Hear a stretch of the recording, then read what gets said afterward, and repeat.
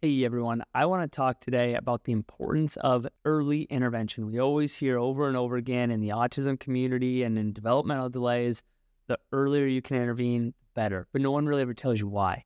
And I want to show you from a brain based perspective why it's so important, all of the maturation that's happening in the brain, and why that early intervention is so, so, so important. So, um, what I'm going to do is I'm going to just dive into all that information and really share with you the maturational process of the brain. So what you can actually see here is uh, I, I, just made this just a quick arrow just to give you a really big kind of overview of what's going on. So um, we have a lot of developmental processes that happen from zero to nine months inside the womb, right?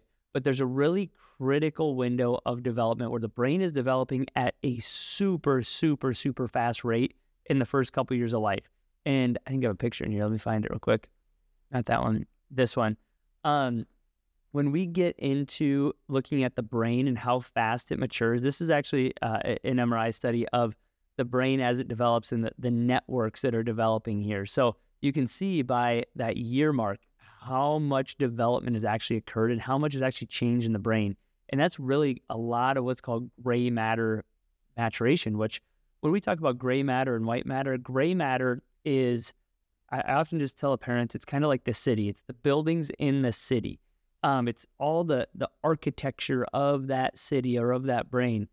The white matter is like all the highways that connect everything, all the roads, all the you know all of that type of stuff, and it develops for a lot longer period of time. But in the first really ten years of life, the gray matter is developing at a really high rate here. So if we jump back to here, in this first ten years of life, we have a lot of gray matter development. And we can see that on this from this study, the uh, imaging structure and functional brain development in early childhood that what you see here is this is the gray matter maturation, and we get a massive amount of that architecture happening in the first two years of life. So, kid doesn't have a lot of stimulus in that first two years of life. We don't develop this architecture appropriately. We don't develop um, this system nearly, nearly as efficiently.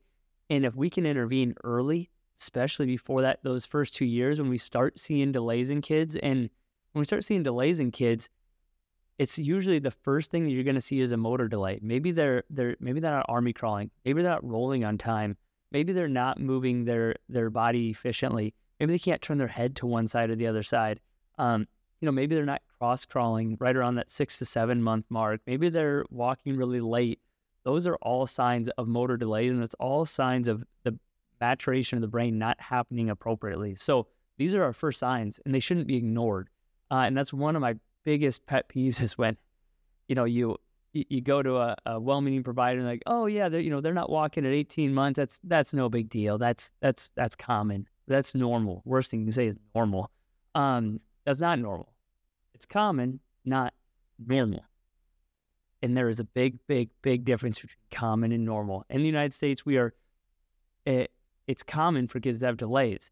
It's not normal. So always think of it as this is when the process is supposed to happen. If they're not hitting those, that's a big deal. Um, but anyways, back to this. Gray matter develops in the first two years of life and really has a lot, still continues to develop at a pretty good rate up until about 10 years. Then it slows down its growth, and then our white matter kind of starts taking over and developing into the, the these the 20th year here. Um, it's kind of the the gist of this. But the best time to intervene is prior to two years if your kid's older than two years, you go, oh man, my kid's older two years. Can I make a change? Yes, you can still make a massive change up until about 10 years of life in the architecture, right? In the actual buildings that are there, the, the actual structure can change really dramatically up to 10 years if you're doing appropriate rehab and you're getting all these, you know, you're really actively working on that. But what if your kid's older than that? You go, oh, well, now I can't make a change, but still not true because you can still work on getting more efficiency. You can, you know, let's say in our town here, we have roads that are connected, but maybe they're gravel roads. Well, you know, you could get much more efficient white matter. You get much more myelination of that system. So that way, now that gravel road turns into a paved road. Now, the more efficient it gets, now it's a two lane, three lane, four lane, six lane. Now you have so much more information going into the brain. Um, you may not have as big of a building. You may not have as many different compounds and areas and you know of that city you may not have as much different structural function there but you can make that system more efficient And then as you get over 20, it becomes much more challenging, to be honest. Um, it's you can now make just what are called neuroplastic changes. So more efficiency, rerouting pathways, you know, re- rerouting in different areas. Your brain can change through it. We know this from research throughout the entire lifespan, but it's much, much, much faster, much more efficient earlier on. That's because the brain is exploding in development um, in an early age. So if you have a kid, this is why I earlier mentioned so important is because if you have a kid that is struggling to delay, the worst, absolute worst recommendation a provider can give you is let's wait and see what happens. By far the worst recommendation you could ever receive. If you hear that, run because there's opportunistic windows that the earlier they are, the faster change you can get, the better change you can get, and lifelong that makes a dram- dramatic difference. Sorry, a dramatic difference in their well-being and their development and all the other functions that come after that. So, um, if that's what you're hearing, find a different place to go to and I'm going to show you here. Uh, this is a, an important aspect of development, but this is synapse formation. So you can see here right away when they're born, not a lot of synapses form, not a lot of connectivity. It gets more and more. Six months becomes really efficient. The first two years becomes even more efficient. We get a lot of connectivity. But then what happens? Something really cool. It's called pruning. Is um, we have neurons that are being connected that aren't being used anymore. And what happens is we start pruning off those neurons and making them more efficient. One thing that we also know about from research in, in autism is um, is that we get increased pruning because we have overactivity of our immune system. So we actually a lot of those kids prune off too much of this, uh, uh, too many of these connections. But again, it's and this is also my belief is if you can activate these systems at an early age, you can get efficiency at an early age it's it comes down to that use it or lose it principle. If you're using it, your your your body's going to keep it, and if you're not, you're going to prune it off and get rid of it for more efficiency. Yeah. Um. Back to this though. The uh, this is a really really important. I you know just take a snapshot of this in your own brain. This is a super important.